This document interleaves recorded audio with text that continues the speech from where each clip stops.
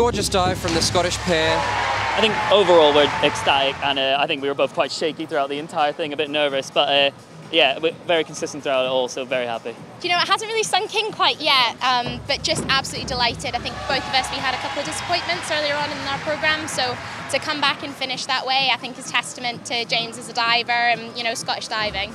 Our sort of Scottish team, we've doubled each number, like each the numbers in each game. So like Grace was alone in Delhi, then it was the two of us, then four, and now eight. So again, testament to Scottish diving and the program we've got going. It's just amazing to have more of us, and uh, yeah, I'm just so proud of Grace. I didn't want to be in this sport about a year ago.